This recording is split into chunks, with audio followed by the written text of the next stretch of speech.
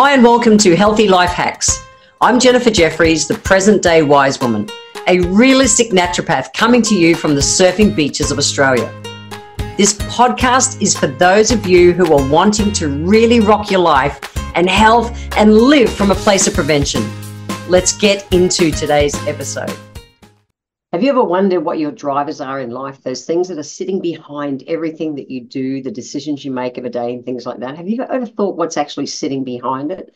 Well, in this podcast, what we're going to do is we're going to find your drivers, your priorities for right now that you mightn't realize are actually driving you. So this will take about 20 minutes, this process.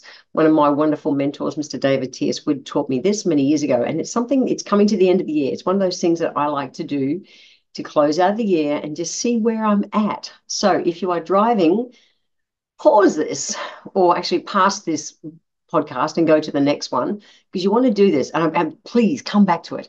You want to come back and do 20 minutes because this is about really seeing what drives you. So let's jump in. You ready to go? Pen and paper. We're going to do this as an active exercise. Okay, so the very first one I'm just going to dive straight in, straight into this, and I'll explain more at the end. So, what I want you to do is on your piece of paper, I want you to write down five things you want in life. Now, the secret to writing this stuff is is don't overthink it. Just write down five things that you want in life. All right. The first things that pop in are generally the right things. We just go and get all serious, and we, you know, we don't kind of um, we overthink it. Trust. It's intuitive. What comes in. Okay the five things that you want in life. Just give you just a minute, not even a whole minute. Five things that you want in life.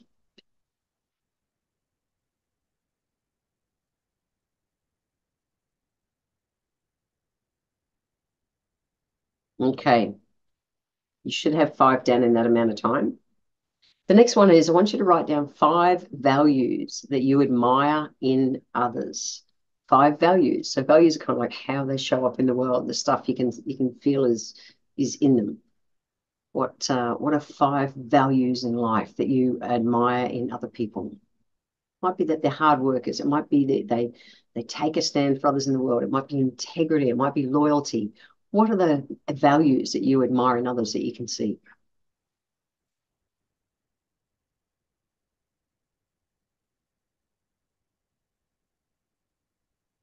Remember, you're not overthinking this. They it's generally that we want the ones that pop in first. Don't go overthinking. So you should be able to have five by now. The next is you're going to write five adventures, five adventures that you want to do. Okay, five that the first five things. Do you want to go and learn how to surf? Do you want to go and climb Mount Kilimanjaro? What do you want to do? Do you want to go? I want to go to Antarctica. I want to go into space. Five adventures that you want to do write them down. Remember, no overthinking, just let them pop in.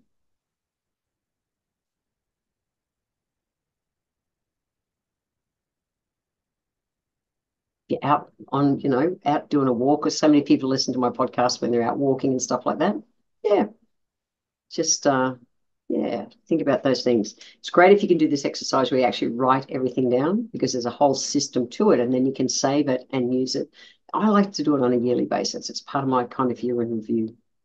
Okay, so so far you've got five things you want in life. You've got five things, five values that you admire in others. You've got five adventures that you want to do. Okay. Now, the next one is think about five people, dead or alive, that you admire or respect. Five people, dead or alive, that you admire or respect.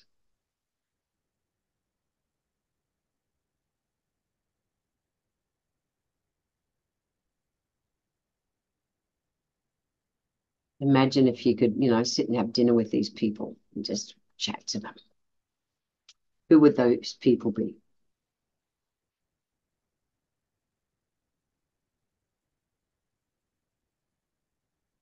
Remember, this is an intuitive exercise, not an overthinking one think about, you know, just as they come in, wow, okay, cool. Write that down. Five people that you admire, respect, dead or alive, that you'd like to spend some time with.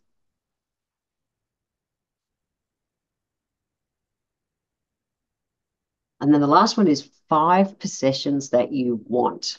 What are five possessions that you want? And this is different to the first one. The first one was five things you want in life. It could be that you wanted more time with your kids or something like that. This is actual possessions. Five possessions that you want. A new surfboard. That's always on my list. I don't need any surfboards, but you can want. There's a difference between want and need. So write down five possessions that you want.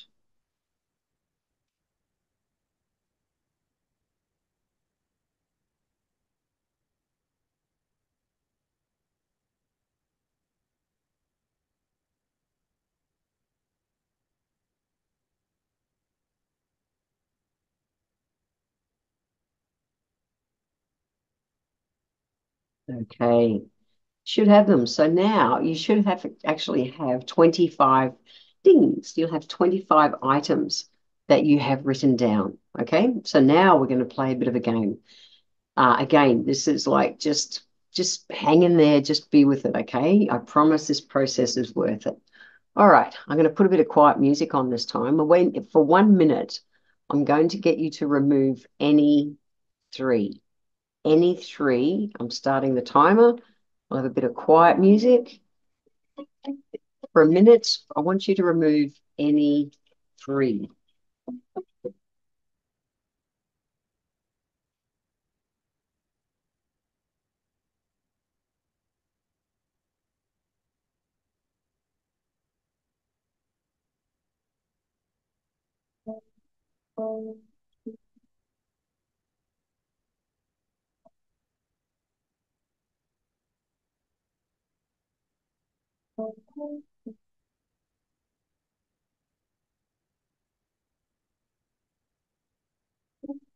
Remember, you're removing any three.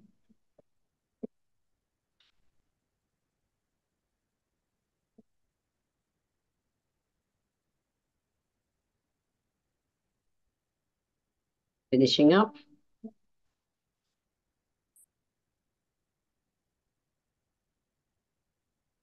Okay, and that's time on that one. Okay, so what we're going to do now is you're going to eliminate five, five off your list of 25, which came down to 22. Now you're going to eliminate five out of the remaining 22. Go.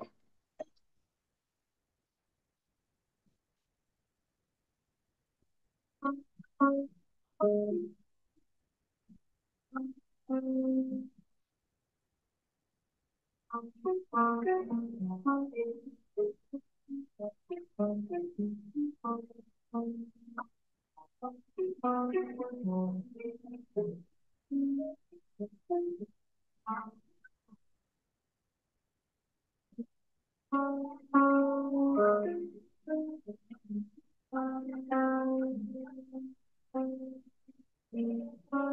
removing, eliminating any five.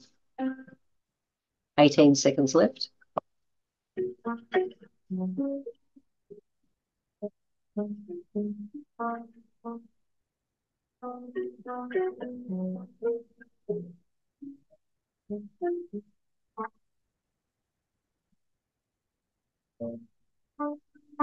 And stop. Okay. Oh, just turn the music down. Okay, how was that? Getting a little bit harder? It's interesting. All these things that, you know, are important to us. It's interesting to just do a gentle cull. Speaking of culling, right now you're going to eliminate three, but this time you're only going to get 30 seconds. Well, you've had a minute. Just going to set a new Okay, a new alarm and we're off. Eliminating three in 30 seconds. Go.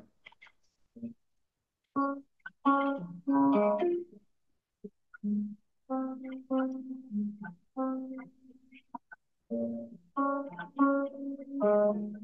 three, what are you going to eliminate?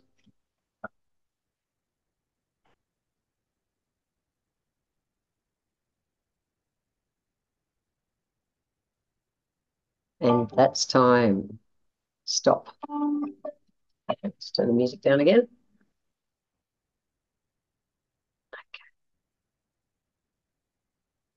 That's right. Okay. Okay, so now, so you've taken away three, taken away five, taken away three. Now you're going to remove, eliminate another five. And I'll give you one minute to do that. One minute to do that. Go.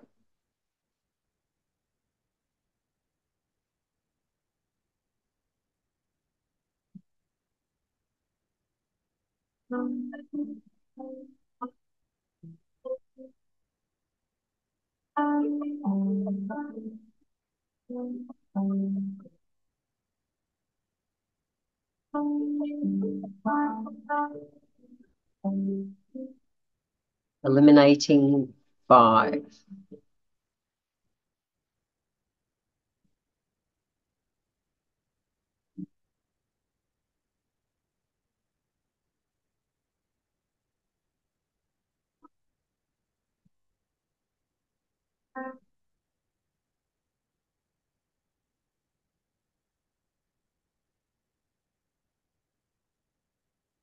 Finishing that one up. Three seconds to go. Two, one, and finish.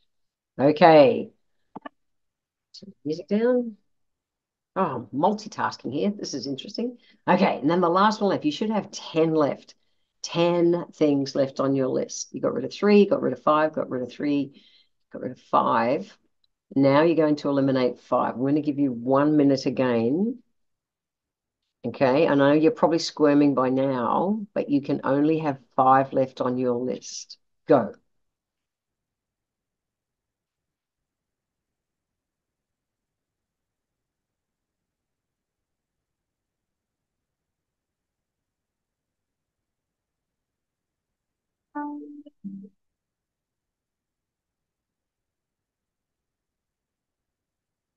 Um.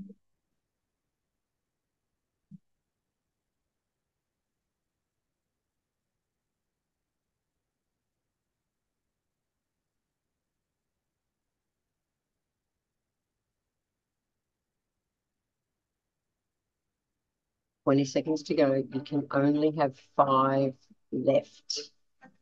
Five left. That's all you can have. Sorry, before left. You went for five or before? 10, 15. Yes, tricked you. You should have four left. Oh, I tricked you. You don't have to be clever to run a podcast. Okay, three, two, one half the fun is that that probably put your brain in a spin because you're thinking, but I haven't got five left, I'll only have four left. That's half the fun of it. That's half the fun of it. All right. So where are you at? Where are you at? Have a look at that four that you've got left. Because it's interesting, they are your four biggest priorities in life right now. So the question to ask is, you know, where are you and how are you spending your time? Are they leading to what is actually your biggest priorities? Or are you keeping yourself busy doing other stuff and that's sitting nagging you in the background? Whether it's, you know, that you want to have more time with your kids, but work life priorities and things haven't got you doing that. And they're the kind of things, the little stresses that just bite at us day after day after day. This is a really interesting process to do. I actually did it again recently, recently because uh, since I was 12, I've wanted to go to Antarctica. I really wanted to go to Antarctica. Uh, I remember I used to buy the the Australian newspaper when it first started in the early 70s. I used to I remember I used to out of my own pocket money, I'd buy this newspaper. The reason I bought it was in page two and page three of the Australian newspaper back in those days, they'd have the ads for the jobs that were on in Antarctica. And it lit me up as a 12, 13 year old. I thought, I want to go to Antarctica. And so that sat with me all the way through my life. And here I am at 62. And I've recently connected with a bunch of people who have done the Antarctica stints. And even only uh, two weeks ago, the jobs for next year's, you know, next season's winter and summer stints have come up. And I would incredibly happily um, be a kitchen hand. It's he's the most overqualified. Everyone who goes and does kitchen hand and and kind of room cleaner is the most overqualified job because people just want that experience of working in Antarctica. And I absolutely, it's up there. That's so high up there for me. And yet I really had to think about this. Am I going to apply or not? And so I used this as a process to see what were my true priorities in life at this time, at this time. And as much as Antarctica is right up high for me and has been for a long time, as that it's an adventure I want to do, right at this time, it's not a priority. And I went, okay, cool. But I used this as a system to be able to find out what my true priorities were. And that's what I encourage you to do with it. So you can actually go to the show notes. You'll go there on my website, which is www.healthylifehacks.com.au. And you can print this out, copy it, print it out, whatever you want to do. Because I really encourage you to keep it as a system. I just keep these questions, the, the system of it, on my phone in my notes section. Uh, and it's a thing that I like. It was a resource I drew on two weeks ago because I thought I need to rule this thing in on out because it's time to apply right now. Um, but it's the kind of thing I'll generally do at the end of the year. I, you know, I sit and do my goals and contemplate all next year and everything. It's part of that process. But I thought I'd throw it out here now because it, it's coming to the end of the year now. As I record this, it is uh, a week to Christmas. And I thought it's a great one for you to have it as a tool as well because it, it's invaluable. I learned it, I know, maybe 10 years ago, and it's always stuck with me. So I hope it's of use to you. And I know it gets really squirmy because you've got like 30 seconds to eliminate three things and then it's gone. It's like it's really hard, but that's what it's meant to be because it will show you you have to actually choose what your priorities are in life.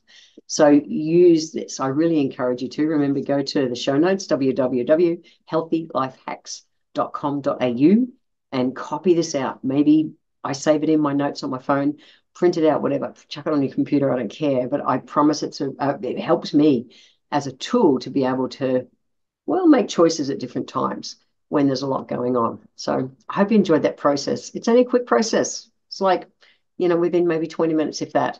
Uh, it doesn't have to go for a long time, but it's incredibly effective. Have fun with it, finding out what your priorities are in life. See ya. I want to thank you for being here today.